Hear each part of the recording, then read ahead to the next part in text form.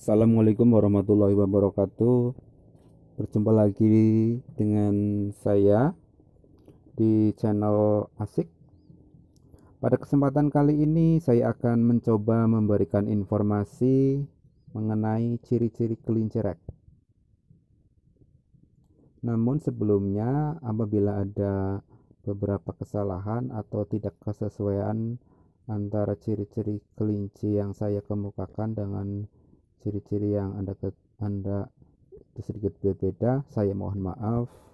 Mungkin itu adalah kekurangan saya. Oke kita mulai saja. Kelinci rek. Kelinci rek itu sendiri adalah jenis kelinci yang berasal dari negara Prancis itu dimulai dikenal di Prancis itu sekitar tahun 1919 Kelinci rak ini awal mulanya adalah kelinci liar yang dipelihara atau dibudidayakan oleh petani sekitar atau di daerah Prancis lah ya di negara Prancis.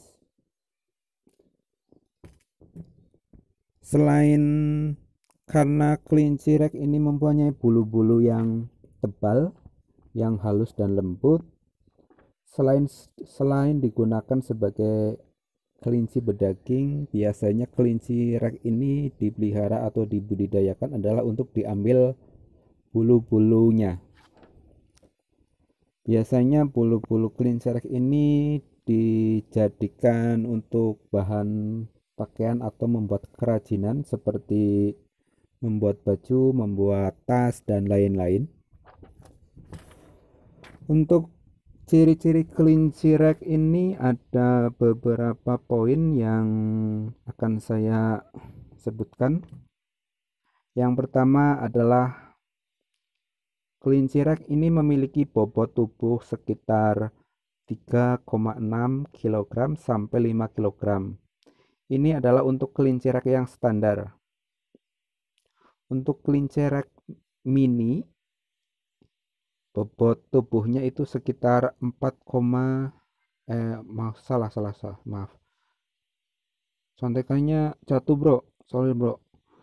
Bobotnya itu sekitar 1,4 sampai 2 kg untuk kelinci rek ini sendiri adalah untuk kelinci rek ini sendiri ada beberapa jenis ya. Bukan hanya kelinci ya ada kelinci rak standar, ada kelinci rak mini, dan ada yang kelinci rak yang lain. Nah, mungkin pembahasan jenis-jenis kelinci rak akan saya buat pada video selanjutnya. Untuk ciri yang kedua, kelinci rak ini memiliki bulu yang tebal, halus dan lembut.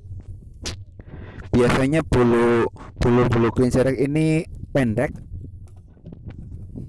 tidak terlalu panjang lah ya sekitar ya berapa senti lah tidak tidak seperti kelinci kelinci yang lain. Terus ciri yang ketiga adalah kelinci rek ini memiliki telinga yang tegak ke atas ukurannya ya ya standar tidak terlalu panjang dan tidak terlalu kecil. Tidak terlalu besar. Seperti ya seperti pada gambar ini. Ini adalah video yang saya ambil di di rumah teman saya. Kemarin saya main ke rumah teman saya di daerah Cilongok. Mungkin ada yang tahu daerah Cilongok. Di situ saya sedikit nanya-nanya tentang ciri-ciri kelinci rek lah. Untuk untuk ini adalah kelinci rek ini mempunyai ini dua warna ini warna putih dan warna warna apa ya kayak warna coklat kecoklat coklatan.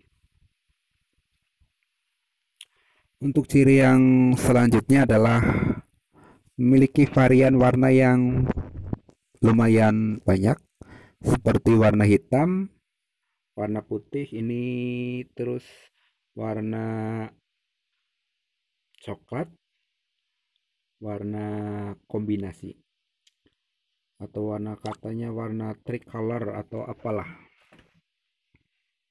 ciri-ciri kelinci rek semoga dapat membantu anda membedakan kelinci rek dengan kelinci jenis lainnya.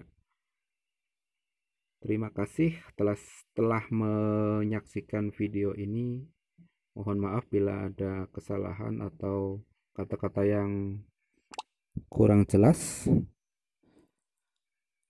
Dan nantikan video-video di channel Asik selanjutnya